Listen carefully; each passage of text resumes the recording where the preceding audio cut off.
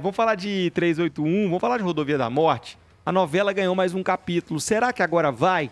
Pois a Agência Nacional de Transporte Terrestres, a ANTT, anunciou hoje a aprovação da publicação do edital de concessão de 303,4 quilômetros da 381, conectando o BH a Governador Valadares.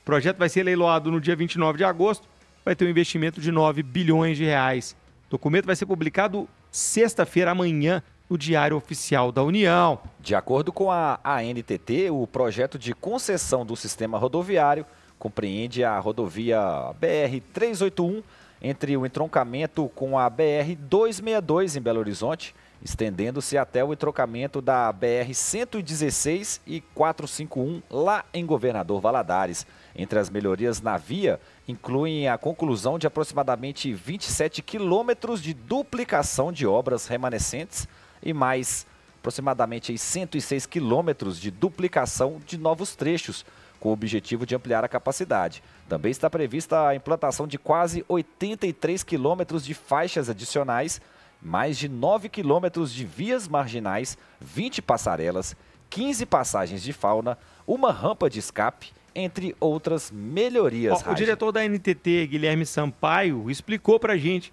o que vai ter que ser feito pela vencedora da licitação. Fala comigo, solta o vídeo.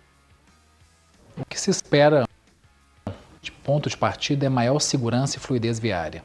Nós sabemos da importância dessa rodovia que liga a capital de Minas Gerais, a região norte, e vai se desenvolvendo para outros importantes municípios e também estados do Brasil, onde tem o transporte de grãos, minério, siderurgia e outras riquezas, não só de Minas Gerais, mas de outras regiões. Paralelo a isso, também trazer que isso vai retomar a segurança para os cidadãos que transitam nessa rodovia, porque ali é uma ligação diária de vários trabalhadores e também estudantes, moradores que perpassam pela, pela região do Vale do Aço, dentre outros municípios.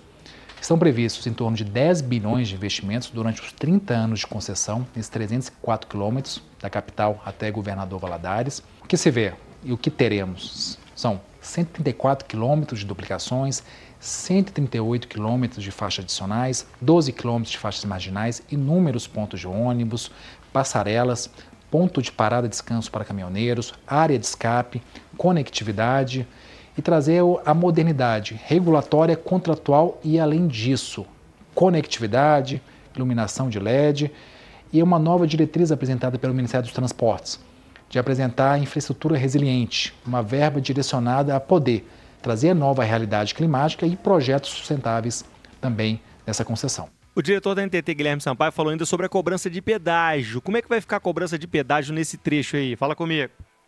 A modalidade tem no leilão, de, visando a modicidade tarifária, com as condições já previstas, cidade de 8%, acima disso tem seu aporte, é lembrar que todos esses contratos já têm desconto do usuário frequente, ou seja, quanto mais utiliza a rodovia, menor aquele cidadão, aquele usuário que usa diariamente vai pagar na tarifa. Tem também o desconto da tag, automaticamente o usuário que tem o pagamento automático já vai ter um desconto.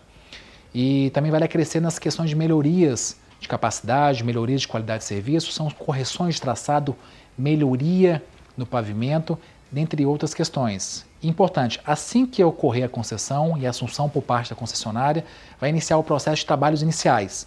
Então, em meses e, e, nos próximos 12 meses já vai ser perceptível melhorias no pavimento, na sinalização horizontal e vertical, que isso, pelos estudos, pelas avaliações, pelo histórico que a agência tem, já permite uma redução dos acidentes, seja da sinistralidade e da sua gravidade, como também trazer maior fluidez na rodovia. Guilherme Sampaio, diretor da NTT, falando com a gente aqui sobre 381. O edital finalmente saindo, já era para ter saído no início do mês, foi é, atrasado por entraves técnicos, mas agora a duplicação da 381 ganhando mais força, ganhando mais vida. Ele detalhando para a gente as obras, os projetos é, previstos aí.